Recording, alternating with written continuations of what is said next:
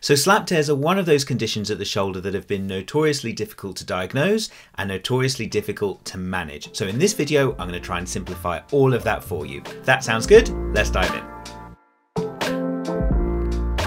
Hey guys, I'm Khalid. Welcome back to Clinical Physio. So when we talk about slap tears, SLAP stands for superior labral tear from anterior to posterior.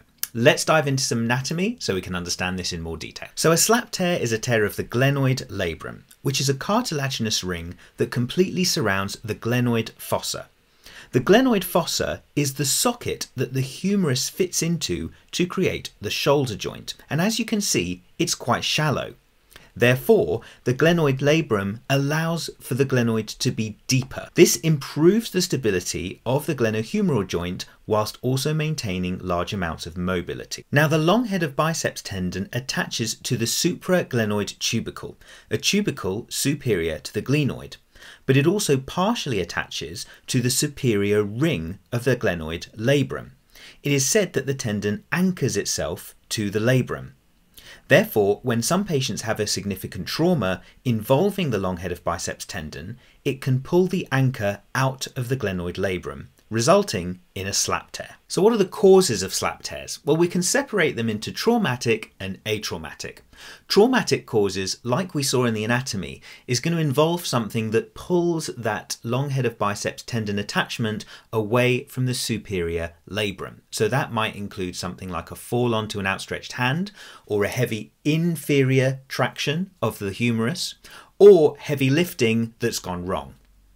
Atraumatic causes tend to focus on repeated microtraumas with the arm in an overhead activity position. So this is going to be something that causes constant repetitive fraying of the long head of biceps tendon from that labral attachment.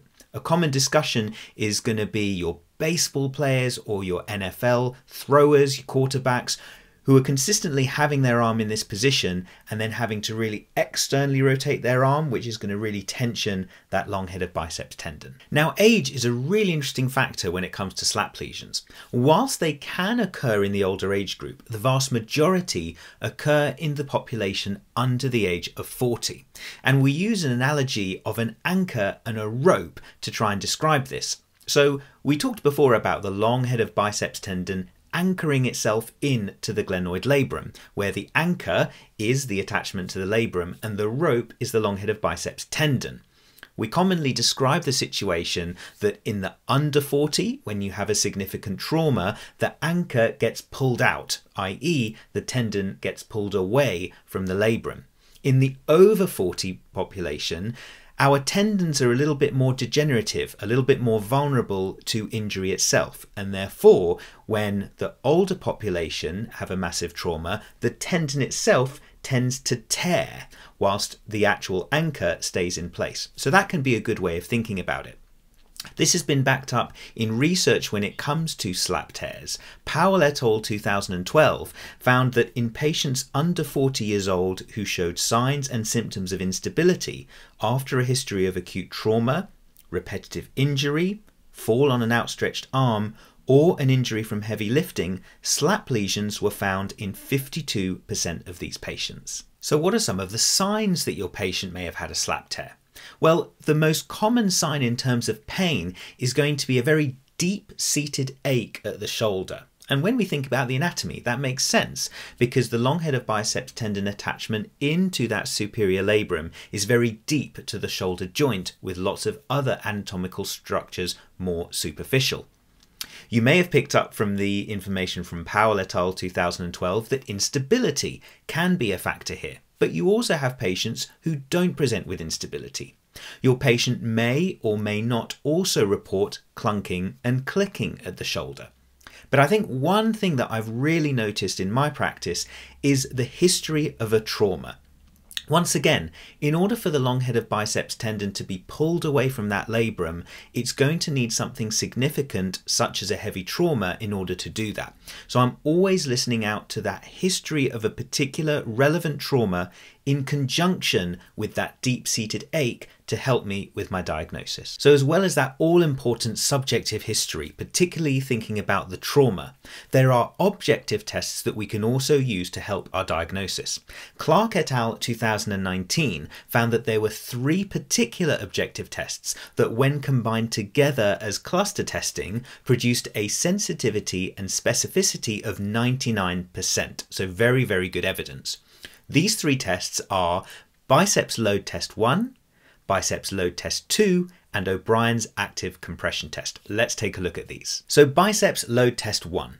Here, the examiner places the patient in a supine position and positions their arm so that the shoulder is at 90 degrees of abduction with full shoulder external rotation, the elbow is placed at 90 degrees flexion, and the forearm is in full supination. And you may recognize that this is very similar to the anterior apprehension test for instability of the shoulder. So if the patient's arm is then positioned like so, the examiner places their own hand on the anterior distal forearm of the patient, asking the patient to then flex their elbow against the examiner's resistance. Now, this should make the movement less apprehensive and less unstable for the patient. However, if it doesn't, if the pain is either the same or actually increases, this is a positive sign for a slap lesion at the shoulder. So biceps load tendon test 2 is very similar. Here we ask the patient again to lie in supine and the examiner positions the patient's arm so that it is at 120 degrees of shoulder abduction with 90 degrees elbow flexion and once again full supination of the forearm. Once again the examiner then places their own hand on the distal anterior forearm of the patient asking the patient to reproduce elbow flexion against the examiner's resistance. If this reproduces a feeling of a deep seated ache at the shoulder, this is also positive for a slap lesion. Finally, we have O'Brien's active compression test. This is where the patient is seated with their shoulder flexed to approximately 90 degrees with full internal rotation with approximately 15 degrees of horizontal adduction. The examiner then places their own hand on the distal part of the patient's forearm and asks the patient to lift their arm up against the examiner's resistance. That's the first part of the test. The test is then repeated, but with the patient's arm in a fully supinated position. If the test is positive, you may well find that the first position of full internal rotation reproduces that deep seated ache at the shoulder, whereas the second position of supination reduces that deep seated ache. If that occurs, it's a positive result and once again may well indicate a slap lesion for your patient. And again, the key with all of this is that when those three tests are combined together and the results are all positive, there's a 99% sensitivity and specificity indication for a slap tear. So if your patient has subjective and objective signs of a slap lesion, they may go on to have further investigations to clarify the diagnosis further. Now we used to previously use MRI scans a lot here, but actually MRI scans are now thought to not be best practice for diagnosing slap lesions, and that's for a couple of reasons.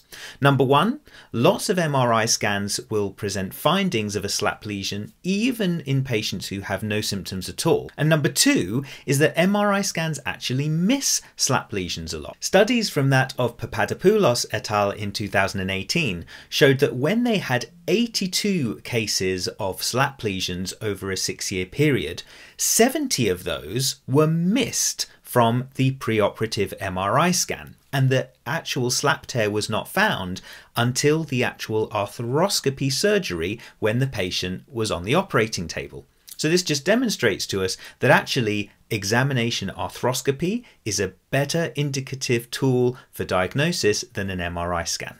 So how do we manage slap lesions? Well, that depends on the severity of the injury, which Snyder broke down for us in his classification from grade 1 to grade 4.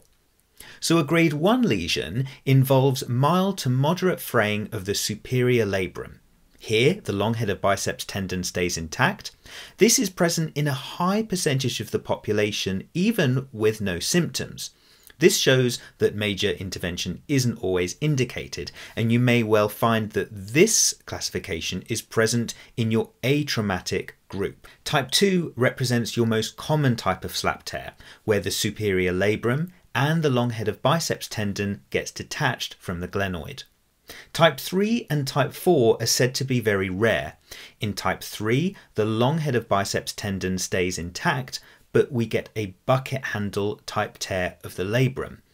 And in grade 4, we have a bucket handle tear of the labrum that also includes the long head of biceps tendon. So once the grade of your patient's slap tear has been established, treatment algorithms such as that of Brockmeyer et al. 2016 can be used to establish the best treatment method for them. Brockmeyer et al. found that if your patient has a grade 1 slap lesion, then the preferred management options should be physiotherapy and conservative management in the first instance, with a secondary option of an arthroscopic debridement if physiotherapy is unsuccessful. And for those with slap lesions between grade 2 and grade 4, Brockmeyer et al. established that surgical options are the best management method. Here they established that things such as a slap repair or a long head of biceps tenodesis, where the long head of biceps tendon is detached from the superior labrum and instead reinserted at the proximal shoulder, as some of the best surgical options available. But of course, that discussion has to be had between your patient and the surgeon. So when it comes to your physiotherapy management, in the early stages, we're probably going to be trying to use range of movement exercises to get our patient's range of movement back on track, coupled with some good education and some analgesia from their doctor to make sure their pain's under control. Then the work really starts in terms of strengthening, and for this I tend to focus on three particular principles. Number one is about strengthening the posterior rotator cuff to try and make sure that the posterior shoulder can take more of the load. Number two is about gradually reloading the biceps, because of course it's the long head of biceps tendon, which is one of the key structures involved in a slap lesion. And number three is about proprioception. We know that the glenoid labrum has a role in proprioception of the shoulder, and therefore it's really important that we target that. So for that posterior cuff strengthening, I tend to focus on exercises like side lying external rotation, as you can see here, a face pull type exercise, as you can see here, and a straight arm pull down, as you can see here. I tend to focus on reps of about 8 to 10 for each of these across 2 to 3 sets. For gradually reloading the biceps, I might start with things like a scaption raise, combined with the Arnie shoulder press, combined with some good old bicep curls. Again, I might think about reps between 8 to 10 across 2 to 3 sets, but I often try and bring these in every other day to allow plenty of time for that long head of biceps tendon to recover from one session to the next. And then in terms of proprioception, you might think about things like some slow and gradual plank taps, where your patient is in a press up position and they gradually tap one shoulder and then the other. And I also really like the drop catch exercise, which is shown to be a great exercise for general proprioception of the shoulder. For these, I might focus on 30 seconds two sets, again once every other day. And another really important thing to finish off with with any of your rehab is to involve the lower limb as well for the shoulder. There's so much evidence out there that shows that when we have strong lower limb, it can really help facilitate the upper limb. So don't forget your squats, your lunges, and doing exercises on one leg to try and improve the lower limb strength too. So guys, thank you so much for watching. Really hope you've enjoyed this video. And if you have, please smash that like button to support us. And if you want even more from us, check out our website at clinicalphysio.com. My name's Khalid Maidan. Thank you so much for watching and we'll see you really soon here on Clinical Physio.